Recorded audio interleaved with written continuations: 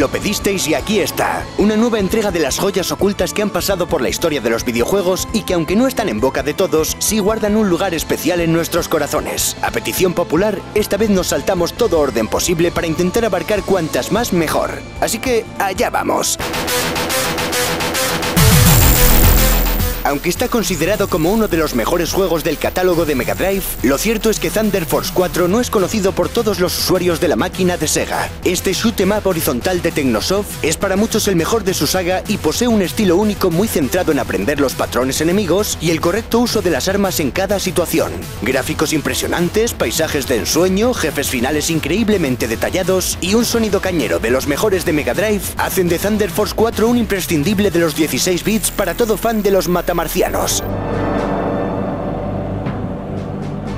En los últimos años de DS llegó a la portátil de Nintendo un juegazo de la franquicia Alien, pero tan oculto que hasta a nosotros se nos pasó homenajearle nuestro especial de Alien. Con una puesta en escena 2D de altísima calidad, la posibilidad de elegir entre cuatro miembros de un equipo de marines, una estructura laberíntica similar a los Castlevania y Metroid, e incluso algunos momentos de tensión, Aliens Infestation es un título muy a tener en cuenta. Te recomendamos que si estás interesado en él te lo agencies, antes de que el tiempo lo revalorice y te cueste un riñón hacerte con él.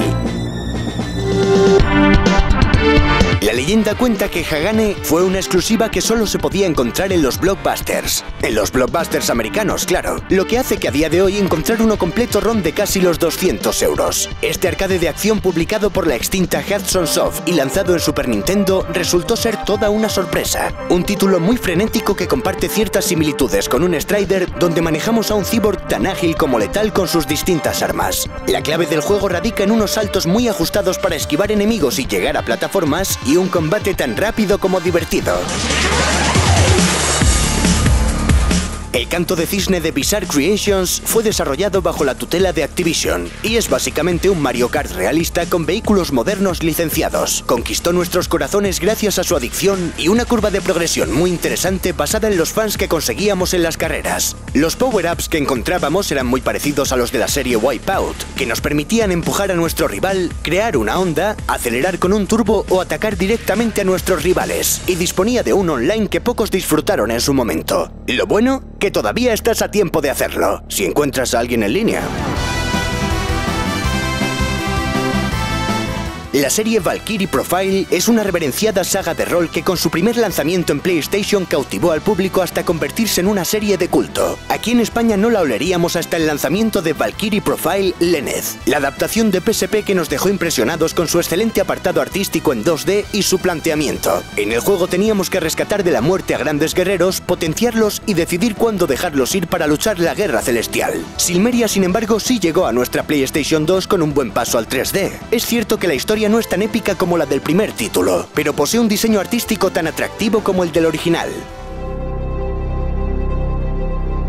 Ahora que el mundo espera con impaciencia la llegada de Star Citizen, echamos la vista atrás y recordamos grandes joyas de la simulación espacial como Wing Commander, sobre todo su tercera y cuarta entrega en la que veíamos a estrellas de la talla de Mark Hamill y Malcolm McDowell. Pero los aficionados al género también recordarán la subsaga Privateer, que compartía universo y que demostró la misma calidad que la serie principal con una propuesta muy original basada en el contrabando. Privateer 2 The Darkening es recordada por su paso a las FMV y la dudosa interpretación de actores de renombre como Clive Owen o Christopher Walken. Es un lo amas o lo odias en toda regla.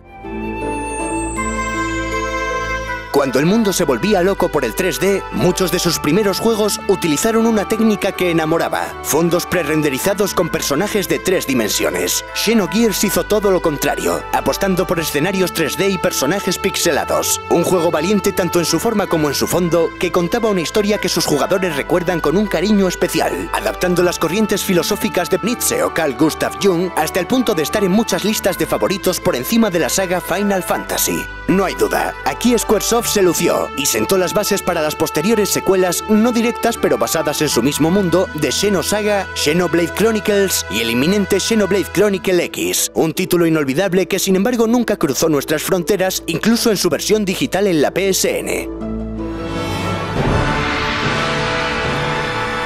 Un niño capaz de inventar una máquina interdimensional para rescatar a su perro de las garras de un terrible monstruo, muy típico de los 90, sí. Pero Heart of Darkness conquistó nuestros corazones no solo con su intro, sino con un desarrollo plataformero muy espectacular. No era el juego más ágil de la época, claro, pero sus animaciones hablaban por sí solas, por no hablar de unos escenarios llenos de detalles y de peligros. Lo cierto es que Heart of Darkness se basaba mucho en el ensayo y el error para sortear todas las amenazas, pero teniendo vidas infinitas no había mucho problema. Un gran heredero de Another World de las manos de su mismo creador, Eric Shahi. Aquí tenemos el espíritu de Clover en estado puro. Si no te acuerdas de este estudio de Capcom formado por eminentes figuras como Hideki Kamiya, Atsushi Inaba o Shinji Mikami que querían hacer algo diferente, puede que recuerdes sus juegos. Okami, Beautiful Joe o este God Han. Una verdadera locura que recoge el espíritu de los clásicos beat'em ups pasándolo al 3D de una manera original cuanto menos. Si coges el juego y lo despiezas por apartados, puede que no fuera gran cosa para la época. Pero en conjunto, God Han ha ido recobrando el lugar que se merece en la historia de los videojuegos y sus creadores siguen deleitándonos ahora con joyas de igual valor lúdico, bajo el sello de calidad de Platinum Games. Pues ahí tenéis nuevos títulos más para la colección. Y sí, sabemos que hay muchos que faltan, pero ¿sabéis qué? Para eso está Twitter. Gritad muy fuerte sus nombres a arroba 3 de con el hashtag joyas ocultas. Y los más votados pasarán al siguiente volumen. Hasta el próximo capítulo.